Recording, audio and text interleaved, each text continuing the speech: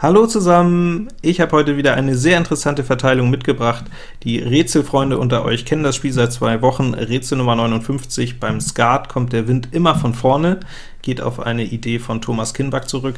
Jetzt aber unabhängig davon, ob ihr Thomas kennt oder ob ihr regelmäßig in der Skat-App die Rätsel erknobelt, ist das eine Partie, die wir uns einfach mal anschauen sollten, denn da lässt sich das eine oder andere rausziehen. Was also ist passiert? Ihr schaut in Vorhand erstmal in ein riesen Blatt, eine absolute Keule von Spiel, so sieht das aus, zwei Buben mit dem Kreuzbuben und dann Ass 10, Ass 10, noch ein Ass dabei, nicht mal ein Bild in der Abgabe.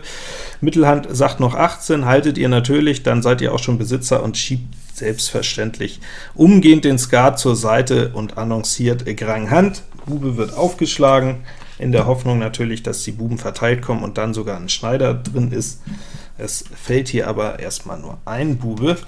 Ja, und jetzt habe ich natürlich auch so Kommentare bekommen zu dem Rätsel, war eins der leichteren Rätsel äh, sofort beim ersten Mal gelöst, und das ist vielleicht hier gar nicht das so Sensationelle, dass dieses Spiel zu gewinnen ist, das erscheint ja vom Bauchgefühl ganz logisch. Interessant ist eigentlich, wie knapp kann das Ding werden, und dass es mit einer leichten Unschärfe plötzlich allen Ernstes verloren werden kann. Das ist hier, finde ich, die Erkenntnis, und das ist was, was die richtig guten Skatspieler ausmacht. Die haben so eine gewisse Art von Paranoia oder auch so eine Witterung äh, für die Gefahr. Die versuchen immer erstmal zu checken, ist das Spiel denn eigentlich unverlierbar, kann hier überhaupt irgendwas anbrennen?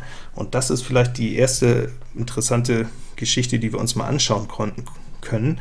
Was kann hier eigentlich im schlimmsten Fall passieren? Also im schlimmsten Fall stehen die Buben zusammen, das haben wir hier schon mal dann wird hier vielleicht ja ein Ass abgestochen. Sagen wir mal, Kreuz Ass wird gestochen, Bube Kreuz 10 rein, 23, auf Karo fallen auch die 21 im schlimmsten Fall, 44, und dann sind maximal noch zwei weitere Stiche abzugeben, wo aber gar kein Voller mehr draußen ist, also können da höchstens noch vier Könige drauf fallen. Vier Könige macht 16 Augen, also 44 und 16. Es sind potenziell, wenn es richtig dumm läuft, 60 Augen möglich. Das ist also erstmal so äh, das, was die Top-Leute immer sehr schnell machen, wenn sie so eine Karte haben, nennt sich Verlustrechnung. Erstmal versuchen zu verstehen, was können die Gegner maximal bekommen. Und die Frage ist jetzt natürlich, können wir irgendwie verhindern, dass die Gegner diese vier Könige auch noch bekommen, wenn die Karte überhaupt so schlecht steht?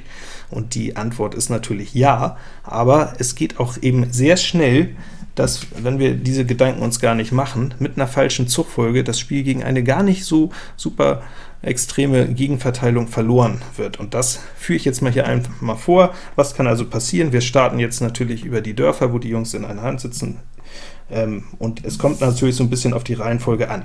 Es gibt hier natürlich auch verschiedene Möglichkeiten. Man kann mit dem Kreuz ausstarten, Herz Ass, Pik Ass, vielleicht auch mit einer 10. Ähm, ich lege jetzt nur mal eine Möglichkeit hin, was schief gehen könnte. Wir starten vielleicht erst mit dem Herz Ass, bekommen hier zwei Herzen, denken uns schon, wo eben die Herz Luschisch äh, lief, und jetzt die Dame fällt, dass Herz 10 nicht so gefährdet ist, und jetzt greifen wir vielleicht hier in die nächste Farbe rein, Pik Ass, Lusche, Lusche. Und es ist ja ein relativ natürlicher Reflex, jetzt erstmal zu testen, kommt hier der Doppelläufer in Pik. Aber sagen wir mal, wir ziehen erstmal mal die Herz 10 hin, wird auch bedient. Da kommt Abwurf Kreuz Dame, damit sehen wir vielleicht auch für Kreuz gar nicht so eine Gefahr. Und jetzt wollen wir eben mal gucken und ziehen hier die Pik 10. Und das ist jetzt ein Moment, wo wir plötzlich äh, das Spiel an die Wand gefahren haben. Pik 10 wird nicht gestochen, das ist entscheidend, denn die Gegner, das hatten wir ja vorher schon ausgerechnet, brauchen, um auf 60 zu kommen, tatsächlich ein Ass. Der Spieler hier könnte jetzt auch eine blanke Kreuz Lusche etwa fallen lassen, aber in der Verteilung, die hier vorliegt, hat er womöglich gleich gar kein Kreuz, lässt die Pik 10 laufen. Ja, und jetzt greifen wir natürlich in das Kreuz Ass, und damit denken wir, sind wir locker zu Hause. Aber es kommt natürlich, wie es dann kommen muss. Kreuz Ass wird gestochen, die 10 geht rein, 23 Augen, und der Spieler hier muss jetzt nicht mal super scharf spielen. Er muss nicht etwa gleich die Karo 10 bringen. Es langt, wenn er eine Übergabe mit dem Bild spielt. Karo König, Karo Ass, Karo Lusche,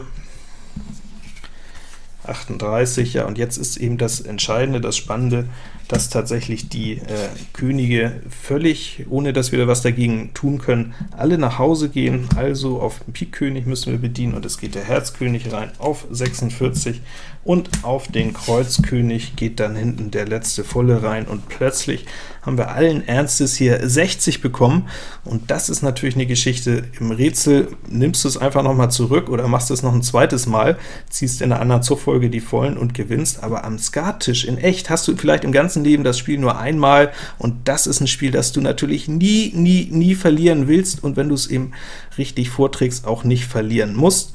Dazu nehmen wir jetzt einfach noch mal die Karten zurück und schauen uns äh, an, was wir anders machen können, um diese Niederlage zu verhindern.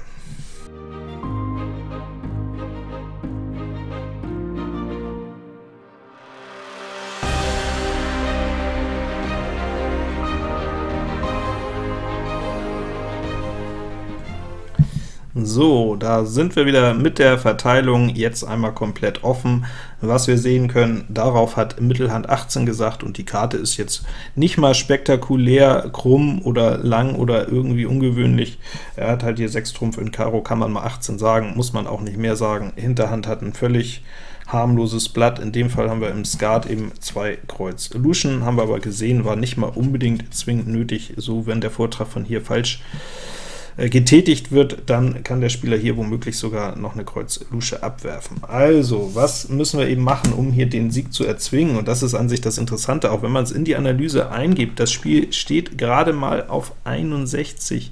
Mehr ist hier nicht zu erzwingen, und das finde ich einfach Ganz interessant, bei so einem Blatt würde man denken, dass das eine klare Geschichte ist, und das ist genau die Gefahr, wenn du so in so einen Autopilotenmodus gehst, die äh, Sensoren für Gefahr quasi abstellst, einfach glaubst, das Ding ist von Haus aus gewonnen, dann kann dir ganz schnell so eine ärgerliche Geschichte passieren, und da kannst du, also ich kann mich da ja, Stunden, Tage lang kann ich mich ärgern, wenn so ein Unglück passiert, weil es natürlich erstens richtig viele Punkte kostet und weil es eben, wenn man drüber nachdenkt, vermeidbar ist, und das sollte deswegen immer vermieden werden. Also, wir hatten es gesagt, 60, wenn, es, äh, wenn die Gegner alle Punkte rausholen, ähm, die sie bekommen könnten, aber wir können das verhindern, indem wir in der richtigen Zugfolge zugreifen, dann können wir eben einen König kontrollieren, und als erstes mal sicher absolut in Ordnung hier die Herzen abzuspielen. Herz Ass und auch Herz 10. Wenn etwa Herz 10 gestochen wird, dann passiert auch nichts, dann fehlt schon das Auge, und wenn Herz Ass gestochen wird, haben wir eben noch die Geschichte, dass wir in ähm, kommen wir gleich zu, dass wir in Pik auf Jagd des Königs gehen, äh, auf in Pik den König jagen können. Das ist hier letztlich die komplette Erkenntnis. Wir haben hier quasi zwei bestellte Luschen, geschützte Luschen kann man auch sagen, aber in der die Kreuzlusche, da ist der Schutz nicht viel wert, denn das Ass wird uns abgestochen und dann wird die Übergabe in Karo gespielt. In Pik ist es etwas anders, da haben wir nämlich die Zugriffsmöglichkeit auf den König, und deswegen können wir wohl jetzt ähm, müssen wir jetzt auf jeden Fall das Kreuz Ass eben ziehen, bevor wir äh, das Pik Ass ziehen. Denn wenn wir das Pik Ass gezogen haben, nein, so ist es falsch, wir können jetzt auch noch das Pik Ass ziehen,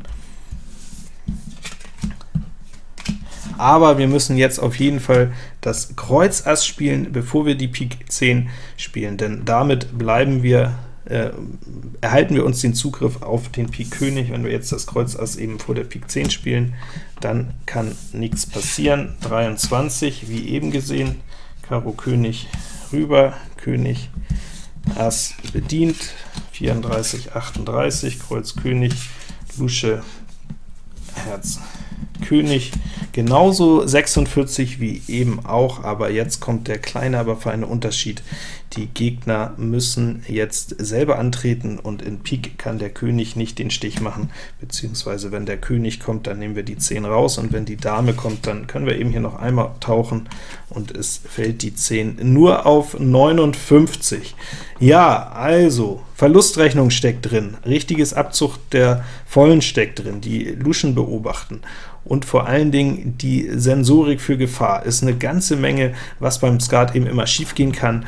Es kann sein, dass du keine Karten kriegst, es kann sein, dass du nicht ans Spiel kommst, und es kann eben, und das ist somit das Schlimmste, auch passieren, dass du ein Riesenblatt durch eigene äh, Dusseligkeit oder Unachtsamkeit, sage ich mal, verlierst. Das sollte man vermeiden.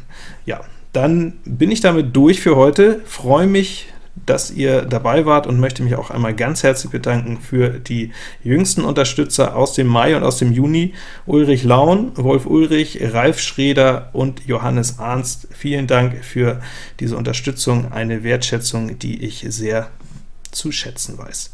Wünsche ich euch noch einen schönen Tag. Morgen sehen wir uns beim äh, Live SenseGuard, wenn ihr Lust habt, ab 22 Uhr, und bis dahin wünsche ich euch wie immer gut Blatt.